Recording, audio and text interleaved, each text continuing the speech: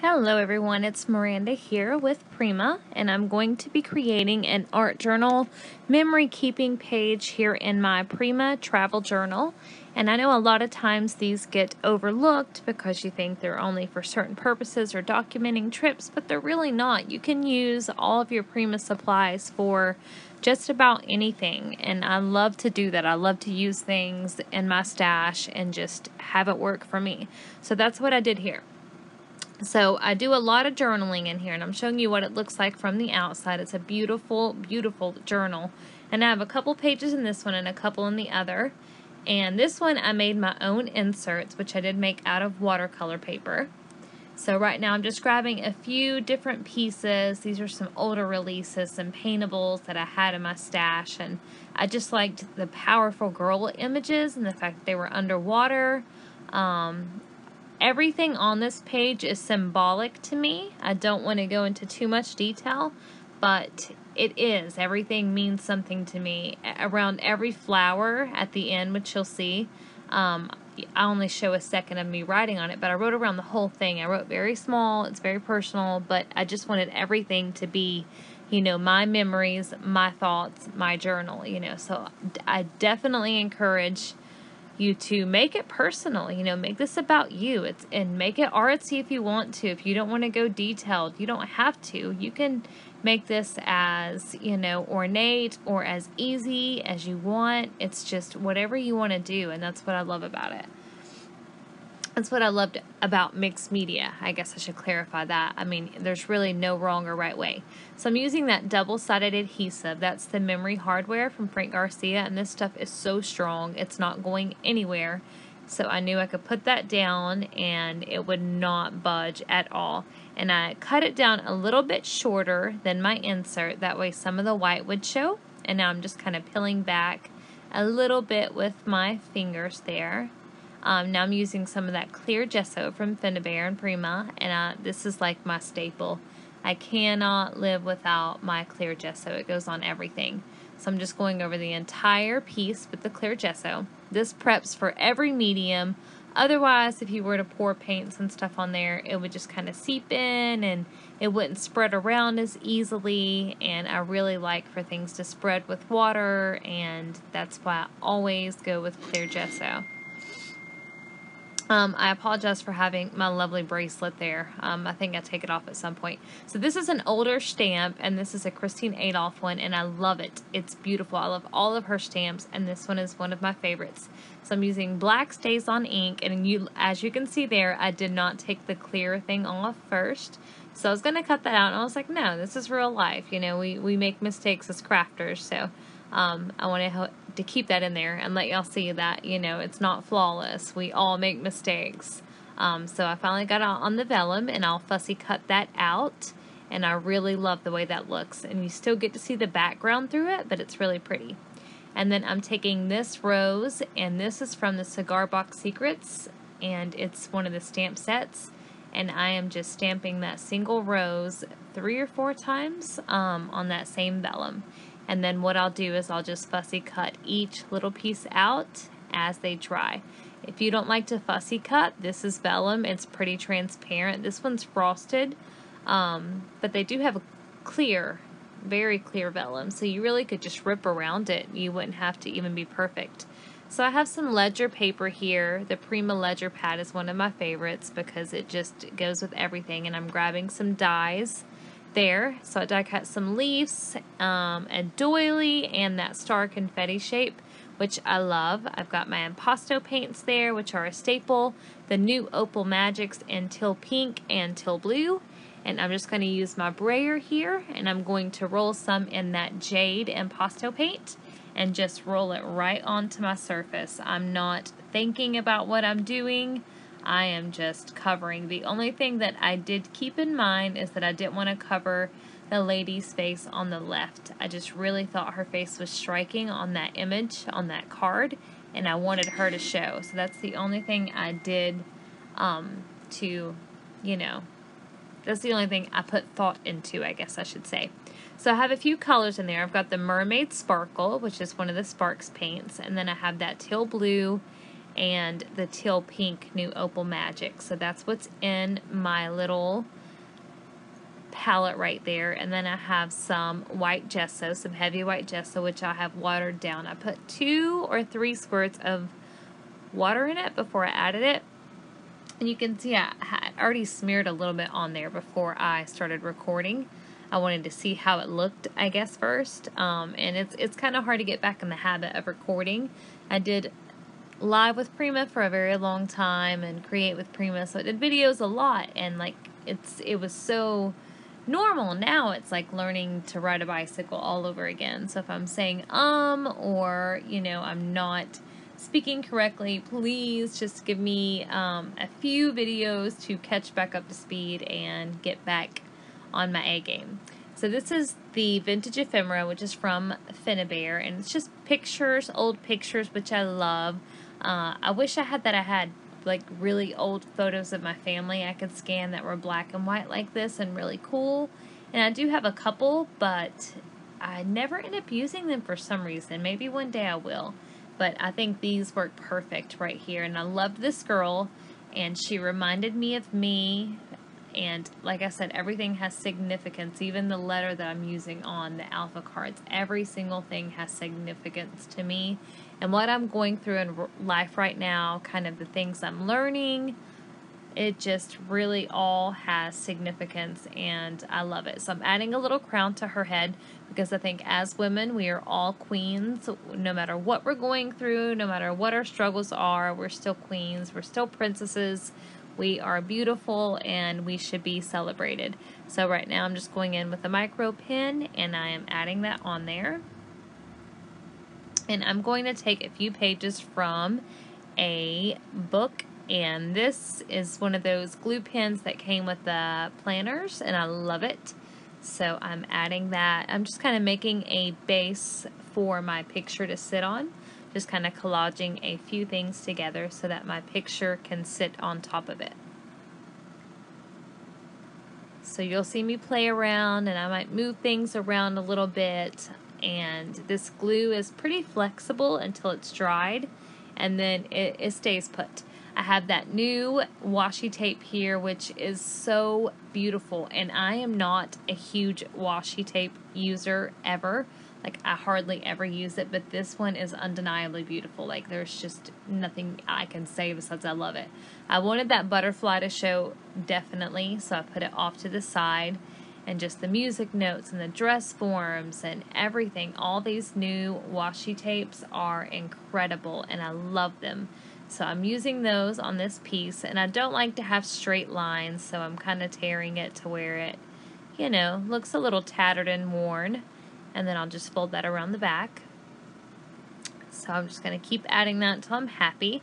And I was this is really strong washi tape, which is one of the reasons I didn't ever use it was because I felt like it didn't stick too well, but this one really did. So I'm cutting my doily in half here, and I'm trying to see if I want it to go to the left or to the right, and just playing with how it looks. So I'm going to keep moving it around until I feel like I'm happy with it.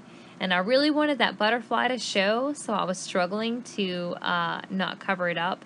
And then I realized if I just added another piece of washi tape a little further over to the right, I wouldn't, I wouldn't have that problem.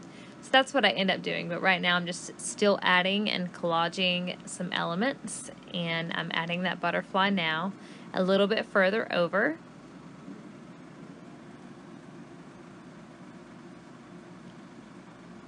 And you can kind of still see the left wing underneath and that's completely fine with me. Alright, so I'm just layering these on top and I do, I leave one of them showing the ledger side and then the other side I flip over to show the white side. That way I have like a nice contrast in colors. And this is definitely my go-to color combo, blues and browns. I can't help it, it just, it happens. It's my go-to color combo whenever I'm struggling or I don't have any mojo. I know that if I pull these colors out, I'll usually find some sort of inspiration.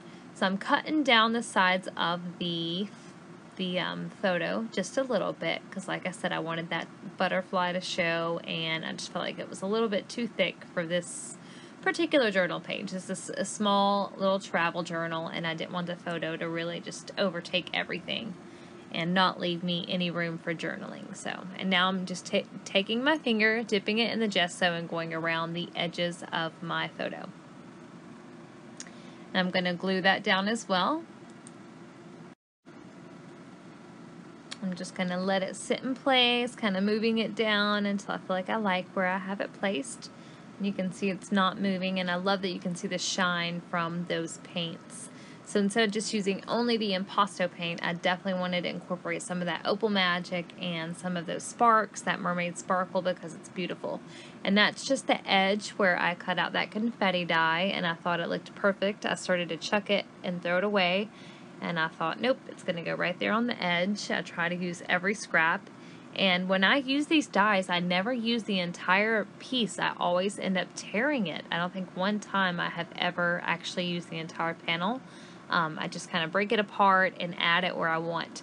So as you can see, I ended up pulling the picture off completely and adding some more of that underneath. I just felt like she needed some more layers under her. And the stars, um, if you know me, you know how much I love outer space and I'm completely enamored with it and fascinated with it. And like, it's my number one passion. I'm always learning more and more and more. I could bore you to death with all of my talk about outer space. These flowers also have special significance, and I don't want to go into why, but even the number I use has a special significance to me. Um, but it relates to my mother, and everything is just personal about this. And I and and I just decided there's like, I create a lot of altered art, and you know, some sometimes that can be personal. You can make that personal, especially if you're making it for someone.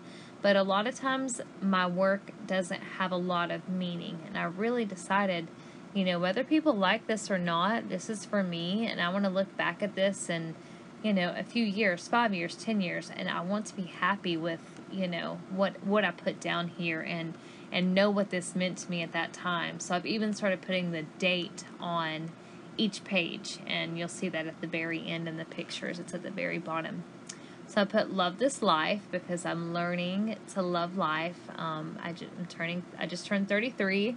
So I'm learning a lot. I feel like I've gained a lot of wisdom, and um, I'm just I'm really happy with where I'm at right now. And I'm not perfect by any means, but I'm definitely learning as I go, and I feel so much wiser than I was, you know, a few years ago, and I would not take that back for anything. So I definitely put love this life. That was a sentiment that immediately I wanted to use.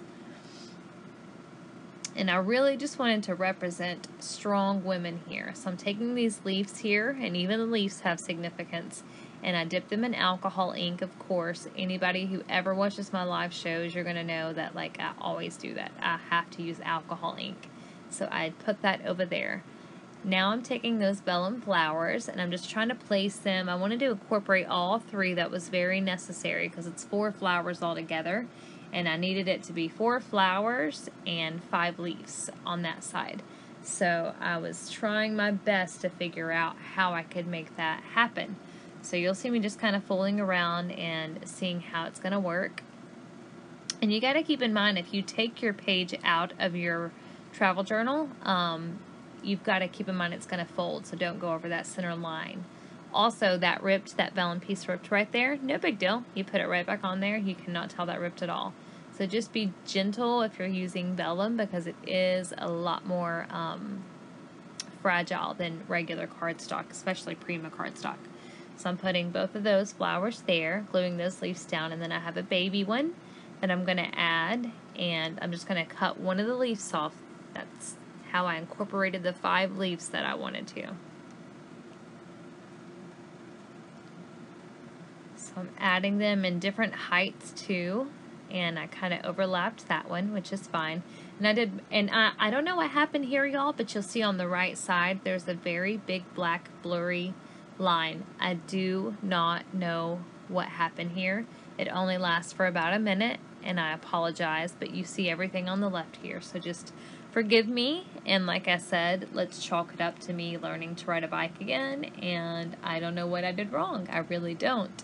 Um, I just can't figure it out. So anyway, I'm taking some thread here, just regular sewing thread in white, and I'm just stuffing it up under there. Um, I always love the way that looks, and I tend to usually forget to do it until the end. but it's pretty easy to kind of lift any little element up and tuck it in and then just kind of pull some out. So that's the one good thing. It's pretty easy to save. So the I, I want to keep this flat, but I wanted one embellishment that was very important to go on here for me, and that's the keyhole. Um, for multiple reasons, and I really, I just had to add it. As much bulk as it added, I had to add that one embellishment. So that and the heart, the rusted heart in particular, it had to be a rusty heart. So I'm using, you'll see me using little scraps of paper sometimes to get excess glue off. Um, I just like to do that instead of like using, you know, my fingers, keeping them clean if I'm doing something like this or, you know, a paintbrush because I'm prone to leave that out and let it dry. So I colored in her crown because I felt like it just was not showing up without coloring the crown in. So I colored it all the way in black. And I'm adding my heart there, my rusted alcohol inked heart. This is a treasured memory stamp set, and the pianos have a significance. Um, there's no significance to the circles, but I really like the stain look, so I'm just trying to add those randomly, and then I'm going to add that piano piece in a few different areas because that has some significance to me right now. But these stamps are so beautiful. All of the treasured memories, I think I have all of them now.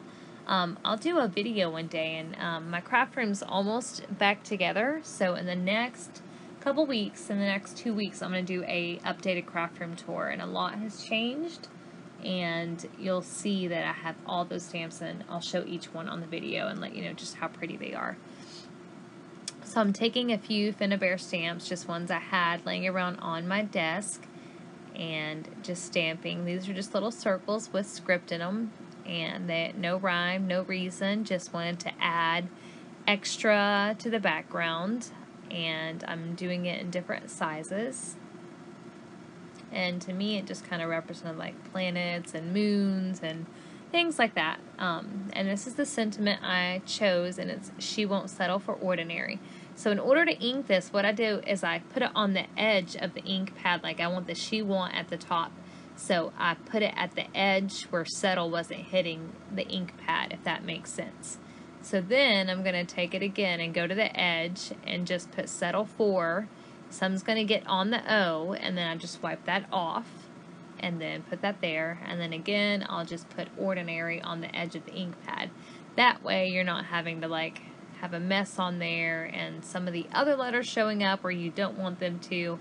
Um, I'm sure that's very basic, but I did want to explain that just in case anyone had never seen it done that way before.